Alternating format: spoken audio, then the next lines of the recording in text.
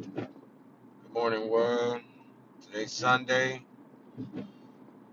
and uh, we are.